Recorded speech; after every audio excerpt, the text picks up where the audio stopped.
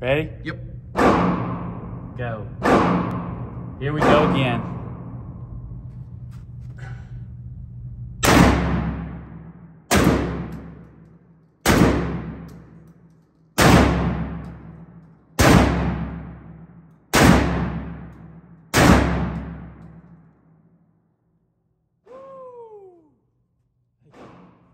Thank you very much.